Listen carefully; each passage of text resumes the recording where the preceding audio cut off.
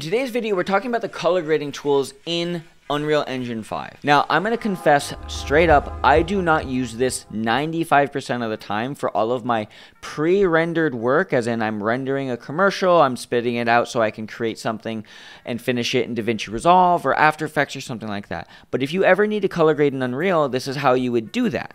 You would go into your post-process volume, you'd make sure that your infinite extent unbound is checked, and if you can't find that, you can go I NB or UNB and check that. And then you can clear that search, scroll down to your color grading settings, and you can start adjusting things as you need. Now, the most important things that I have generally worked with using these settings are going to be our global, our shadows, midtones, and highlights, and we can adjust things in each category. I'm not going to give you a color grading tutorial, but this is basically what the tool does. If we select the temperature type and the temp, we can basically make our image more orange or more blue and really adjust the, the coolness or the warmth of the shot. We can also adjust this with color temperature right here, but on average, I don't use this. Instead, I would adjust my lighting to get the vibe that I need.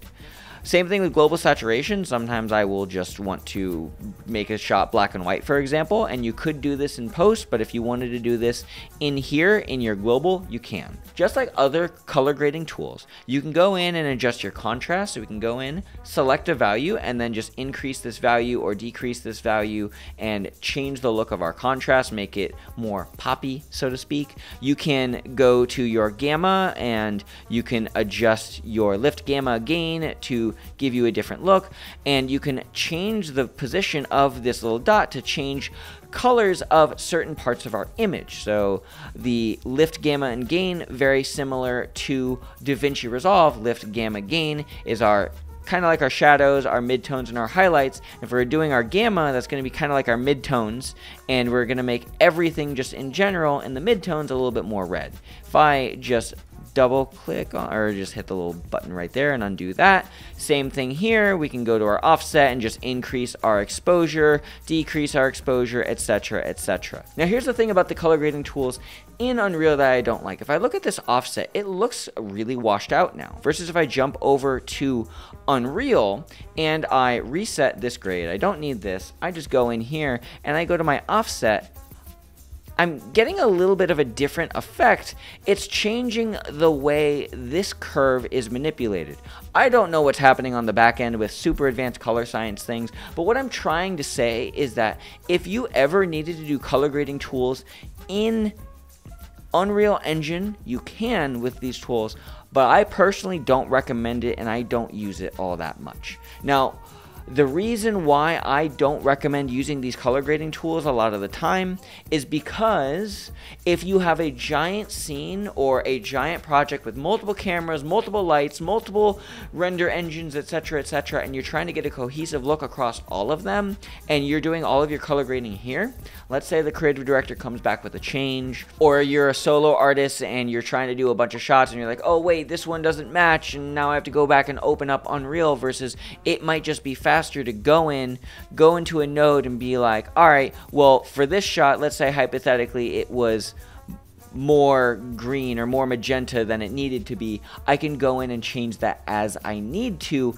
in my color grading software. What I'm trying to say is that it's important to understand the pipeline and the workflow. And sometimes doing your color grading in render might be valuable if you're trying to do stuff super quick or you're a hobbyist just doing some cool art in Unreal Engine. But if it's going to end up taking more time to adjust the color because you have to re-render stuff versus just adjusting a single node in DaVinci, then it is valuable to separate the color grading tools between Unreal and color grading. Use Unreal what it's meant for, use DaVinci for what it's meant for. Now let's say hypothetically you do want to do a little bit more color grading advanced things in Unreal Engine, outside of all of these menus that you do have to dive into, there is the miscellaneous section, and I have used this blue correction a lot, and it can really help adjust blue tints in Unreal Engine. So I have used this on professional projects to try and help with the way shadows are rendered using Unreal.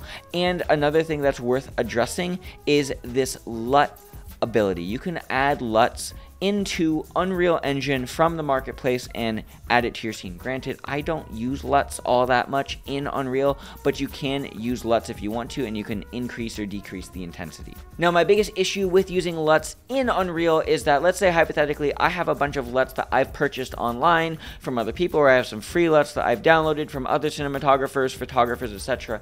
I cannot bring these cube files, these LUTs, into Unreal Engine. I'm going to get the big fat failed to import over here. And that's because if I go to the Epic Games Launcher and I go to the Marketplace, and I go to search and I type in LUT, we're going to see all these other LUTs that have been created using Unreal Engine tools and you have to pay money. It's like, dude, I already bought all these other LUTs from these other packages.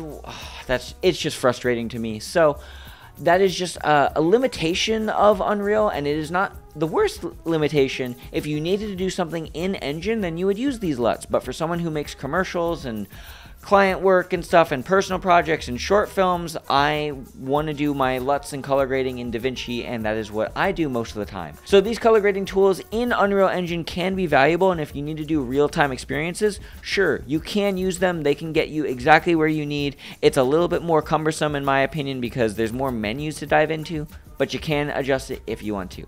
I hope you learned something from this tutorial. If you did, let me know in the comment section down below. Questions, comments, concerns, whatever else. Comment section is down there for that as well. And I will leave you with a final tip, and that is eat one gram of protein per pound of body weight, and you'll make some gains. Goodbye, my friends. Bye.